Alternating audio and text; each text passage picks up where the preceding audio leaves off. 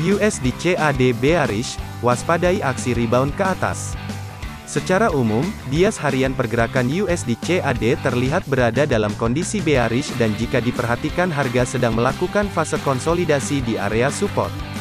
Jika pergerakan USD CAD bergerak ke atas dan tertahan di sekitar area kritis pada kisaran 1,27100 sampai 1,27578 maka tunggu kemunculan bentuk pola candlestick bearish yang valid dengan memperhatikan juga indikator ADX bergerak ke bawah di mana ada potensi harga akan menyentuh area 1.25775 Sebaliknya waspadai jika harga USD CAD terus bergerak ke atas dan menembus level 1.27578 maka ada potensi harga akan berbalik arah dengan bergerak bullish ke atas menuju level berikutnya pada kisaran 1.28381.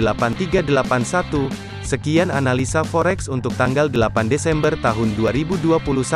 Untuk konsultasi gratis mengenai posisi trading forex Anda, silakan hubungi 081212 983 101. Sekali lagi, 081 212 983 101.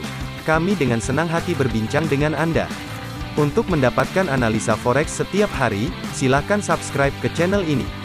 Sampai jumpa di video berikutnya.